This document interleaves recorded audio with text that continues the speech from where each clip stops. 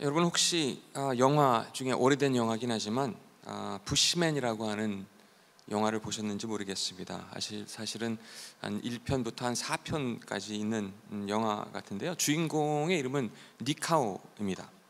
실제 그 부시맨족 아프리카의 부시맨족 배우였는데 참 순수한 아, 웃음을 우리에게 주었었죠. 부시맨 시리즈 중에 니카오가 중국을 가는 내용이 있습니다. 거기서 헬스를 가는데 아, 처음이잖아요. 헬스는 모든 게 낯설죠.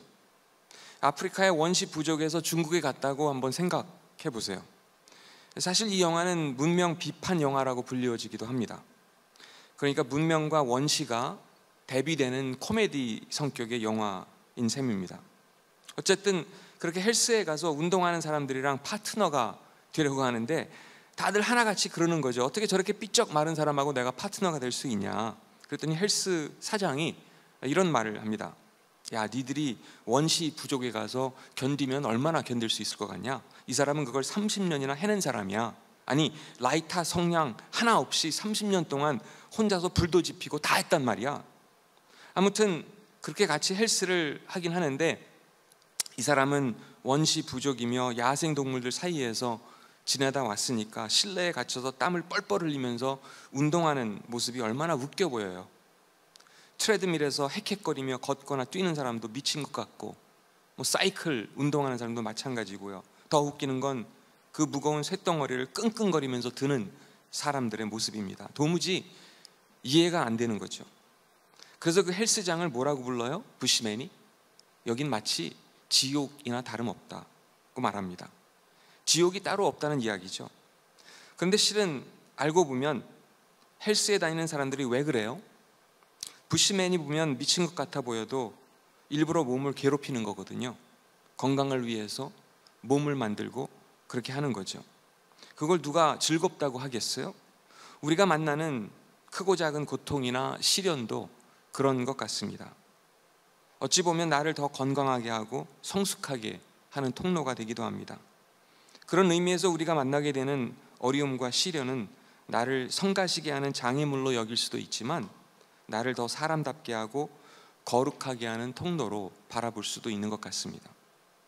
우리는 문명과 과학의 발달을 자랑하지만 한없이 약한 존재입니다. 아무리 과학이 발달되었다고 해도 그리고 사람이 아무리 똑똑하다고 해도 유한한 존재입니다. 바이러스 앞에서도 속수무책이고요. 질병으로부터 자유한 사람이 한 사람이라도 있나요? 그렇지 않습니다. 코로나 19가 나왔다면 그것으로 끝인가요? 그것도 아니죠. 나중에 코로나 22가 나올 수 있고 30이 나올 수 있고 그렇습니다. 사실 이럴 때 우리가 놓치기 쉬운 것은 외부로부터 우리 몸에 침투하는 것들을 넘어 내면의 문제를 바라볼 수 있어야 되는 것 같습니다. 왜냐하면 외부의 침투보다 우리의 마음을 병들게 하는 생각들 거기에 주의를 해야 되는 것 아닌가요? 몸의 건강도 물론 중요하지만 우리는 영적인 존재이기 때문에 그렇습니다. 마음에서는 악한 생각, 살인, 간음, 음행, 도둑질, 거짓말 그리고 비방이 나오는 것이라고 예수님은 마태복음 15장에서 말씀하시지 않나요? 우리를 병들게 하는 것은 외부의 것들만이 아닌 것입니다. 그러고 보면 우리는 늘 크고 작은 위험에 노출되고 있기도 합니다. 그것을 다 통제할 수 있는 힘이 우리에겐 없는 것이 사실이고요. 얼마나 연약한 존재입니까? 이런 때일수록 하나님 앞에 겸손해야 되겠죠. 하나님을 기억해야 되겠죠. 내 삶의 주인이 누구인지 말입니다. 오늘 시편 13편에서는 이렇게 기록해 주고 있습니다. 여호와여 언제까지 나를 잊고 계실 것입니까? 언제까지 숨어 계실 것입니까? 언제까지 내가 걱정해야 합니까? 언제까지 내가 날마다 슬퍼해야 됩니까? 언제까지 원수가 나를 보고 우쭐대어야 한단 말입니까? 오 주님, 나의 하나님이시여, 나를 보시고 내게 대답해 주소서, 내 눈을 밝혀 주소서. 그렇지 않으면 나는 죽음의 잠을 잘 것입니다. 나의 원수들이 내가 이겼다라고 말하지 못하게 해 주소서. 내가 쓰러질 때 나의 원수들이 기뻐할 것입니다. 나는 주의 변함없는 사랑을 믿습니다. 내 마음이 주님의 구원을 기뻐합니다. 내가 여호와를 노래할 것입니다. 왜냐하면 여호와께서 내게 은혜를 베푸셨기 때문입니다. 앞부분에서 시편 기자는 매우 혼란스러워합니다. 마치 하나님이 자신을 버린 것처럼 이야기합니다. 하나님 언제까지 그러실 겁니까? 대들고 따지는 듯한 느낌마저 들죠. 우리도 지금 온 나라가 아니 전 세계가 혼란스러워하고 있지 않나요? 불과 몇 주 전만 해도 이런 상황을 누가 예상할 수 있었겠습니까? 시편 기자는 말하죠. 하나님 언제까지 내가 걱정해야 하고 언제까지 슬퍼해야 하고 언제까지 기다려야 한단 말입니까? 계속해서 내가 내가 내가 주어는 처음부터 끝까지 자기 자신이지 하나님이 아니었습니다. 하나님이 어떻게 그렇게 할 수 있어요? 이런 분위기입니다. 우리도 혼란스러워할 때가 있습니다. 그 순간엔 잘 보이지 않아요. 하나님이고 뭐고 잘 안 보이는 겁니다. 그저 내 문제, 내 상황, 그것만 보이거든요. 그게 어쩌면 자연스러운 반응이기도 합니다. 심지어는 믿음이 좋다는 사람들도 그럴 수 있거든요. 시편 기자도 마찬가지고요. 우리도 그렇고요. 심지어는 목사도 크게 다르지 않습니다. 부산의 어느 교회 수석 부 목사님이 갑자기 사라진 적이 있다고 합니다. 사모님도 목사님의 행방을 모르고 교회에서도 모르겠는 겁니다. 얼마나 찾았겠어요. 사람들이, 온 가족이, 교회가. 약 3개월 뒤에 이분이 나타났는데 어디서 나타났냐면 인천 앞바다에서 이분을 찾았다고 합니다. 어떻게 된 거냐고 가족이 물어보니까 부산에서 군데군데 선원 구함이라는 광고 문구가 여기저기 즐비하거든요. 그걸 보고 어느 날 너무 괴로워서 너무 힘들어서 마음이 너무 힘들기 때문에 이분이 갑자기 배를 타기로 결심한 겁니다. 도망치는 거죠, 사실은. 어찌 보면 잘한 일일 수도 있어요. 자신의 부르심에 대해 확인할 수 있는 기회였다고 할까요? 이분이 목사로서의 소명의식에 대해서 어떤 갈등이 있었는지는 모르겠지만 삶이 자꾸 어려워지니까 마음이 복잡해지니까 힘들어지니까 흔들리기 시작했겠죠. 목사도 별 수 없습니다. 똑같이 연약하고 똑같이 하나님이 절대적으로 필요한 존재인 셈이죠. 구약의 요나도 힘들어지니까 하나님으로부터 도망치다가 물고기 뱃속에 들어가서 결국 하나님을 새롭게 만나거든요.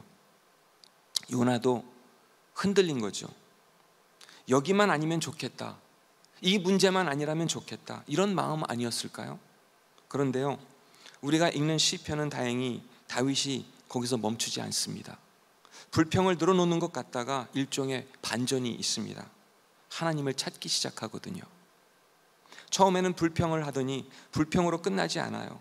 그 기간이 얼마나 지났는지 알 수 없지만 3절부터는 나를 보시고 응답해 주세요. 내 눈을 뜨게 해 주세요. 정확히 볼 수 있게 해 주세요. 저에게 판단력을 주세요. 내가 죽음의 잠에 빠질 것만 같습니다. 앞부분에서는 주어가 자기 자신이라고 했죠. 그게 조금씩 달라지고 있습니다. 내 하나님이요. 내 하나님이요. 그 하나님을 찾고 있거든요. 예배도 그런 거잖아요. 내 삶의 참 주인은 내가 아니라 하나님이심을 깨닫고 나아가는 것이 예배자의 모습이거든요. 우리는 때때로 불안해할 수밖에 없습니다. 사람인데 어떻게 해요? 불안으로부터 과연 자유로운 사람이 있을까요? 과도한 불안이 문제지 불안은 생존에 있어 중요한 감정 에너지로 작용할 수도 있다고 합니다. 그러니까 적정 수준의 불안이 오히려 위기 관리나 미래를 준비하게 되는 에너지가 될 수 있는 것입니다. 물론 적정 수준을 넘어가면 안 좋겠죠. 하지만 시험 불안이 적당히 있는 학생이 성적도 좋다고 하잖아요. 해산물을 일본으로 수출하는 어느 기업인이 미꾸라지를 잔뜩 배에 실어서 옮기는데 처음에는 일본에 도착해서 거의 다 죽어버렸다는 겁니다. 이러한 경험을 몇 번이나 반복을 했다고 합니다. 그렇게 되면 완전 헐값에 10분의 1밖에 안 되는 가격에 팔아야 되거든요. 손해죠. 그러다가 이분이 어느 날 비결을 찾았다고 합니다. 그게 뭐냐면 메기를 몇 마리 물탱크에 집어넣으니까 얘들이 미꾸라지들이 긴장해서 거의 다 살게 되었다는 겁니다. 잡혀먹지 않기 위해서 안간 힘을 썼겠죠. 스트레스를 받게 되니까 말입니다. 시련이 저들을 살린 겁니다. 요즘은 불안이나 공포 체험을 놀이로 즐기는 경우도 있습니다. 공포 영화라든지 놀이동산이라든지 익스트림 스포츠라든지 거기서 우리가 느끼게 되는 희열이 있거든요. 하지만 그냥 단순히 희열을 넘어 그걸 우린 돈까지 지불하면서 그런 경험을 사기도 합니다. 왜요? 그 이유는 가짜 불안이나 공포를 경험하면서 실제 하는 현실의 고통에서 잠깐 벗어날 수 있거든요. 심지어는 전염병 주식회사라는 게임까지 있습니다. 그런데 이 게임은 전염병을 막는 게임이 아니라 세상을 전염병으로 망가뜨리는 내용의 게임입니다. 그것도 비슷한 것 아니겠어요? 그 속에서 나만의 희열을 느끼고 오히려 내가 느끼는 불안이나 두려움을 떨쳐버릴 수 있다는 착각에 빠지게 하거든요. 더 큰 문제는 불안이 클수록 현재의 행복이 잘 느껴지지 않는 것 같습니다. 현재 내 삶 속에서 내 가까이에서 일하시는 하나님의 손길이 느껴지지 않을 수 있어요. 미래에만 집착하게 될 때 그런 겁니다.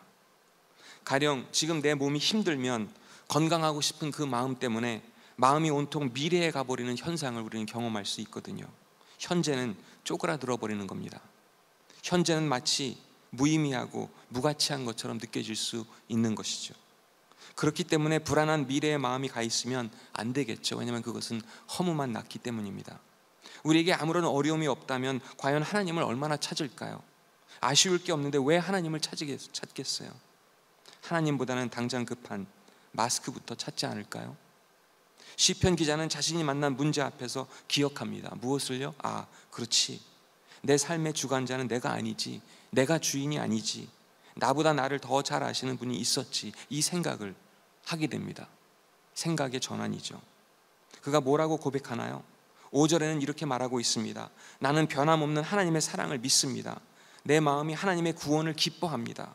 하나님께서 내게 은혜를 주셨으니 내가 하나님을 찬양할 것입니다. 마지막으로 그가 하는 것은 감사와 찬양이었습니다. 그 고백이거든요. 하나님 제가 잠시 잊고 살았습니다. 내 문제만, 내 상황만 너무 크게 보였습니다. 하지만 이제 압니다. 내가 있어야 할 자리를 압니다.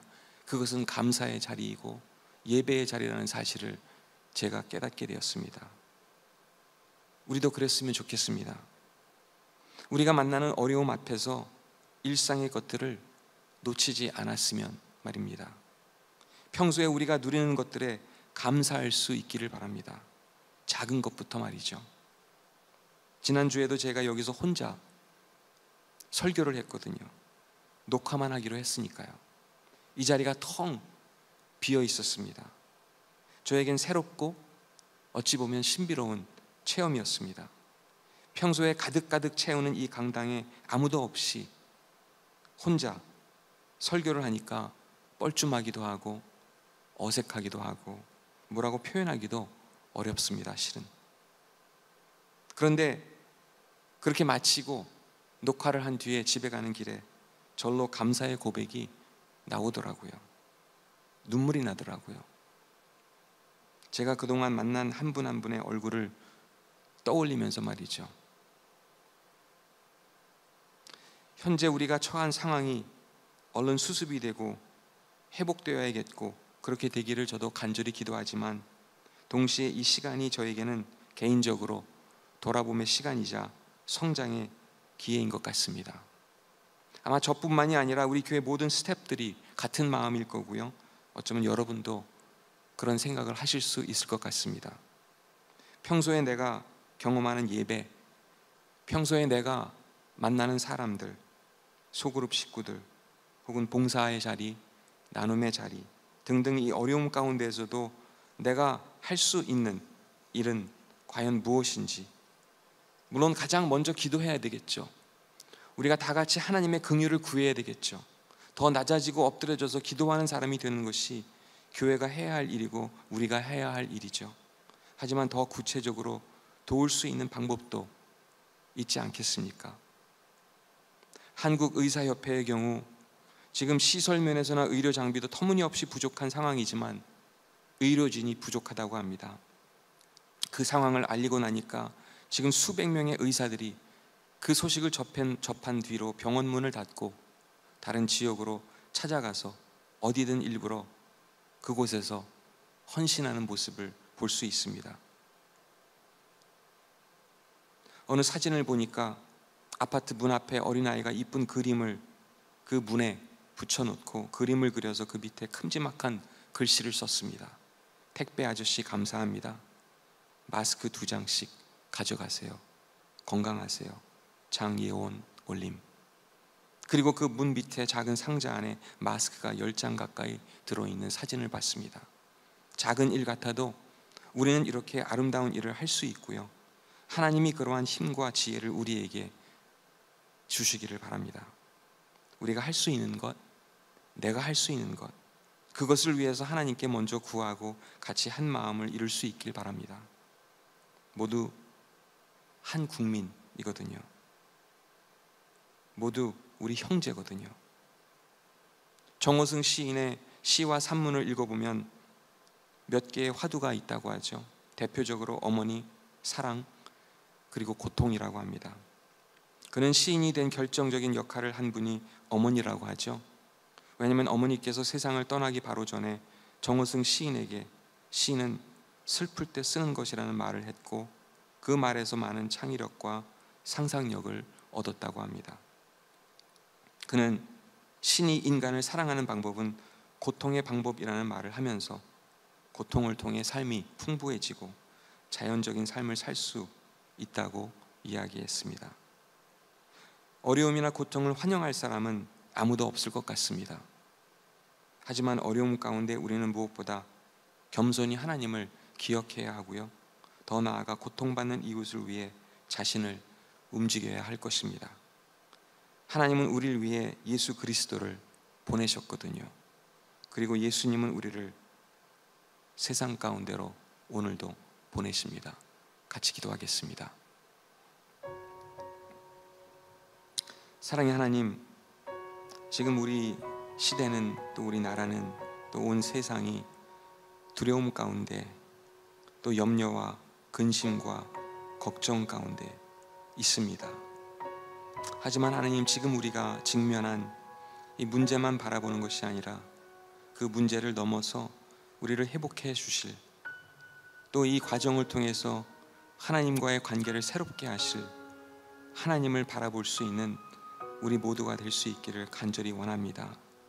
우리를 침투하는 외부의 세력들, 병마의 싸움을 넘어서서 하나님 우리 안에 존재하는 크고 작은 마음의 병들을 욕심과 질투와 시기와 사랑하지 못하고 미워하는 모습들을 먼저 볼 수 있도록 하나님 우리에게 지혜 주시기를 간절히 원합니다.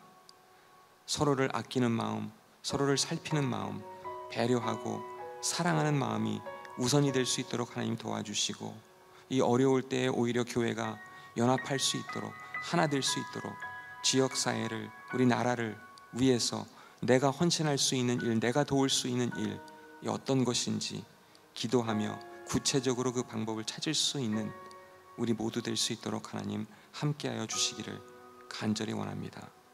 하나님께서 이 시련을, 이 어려움을 극복할 수 있도록 도와주실 줄 믿습니다. 그렇게 저희들 함께 기도하며 이 모든 말씀 예수님의 이름으로 기도합니다. 아멘.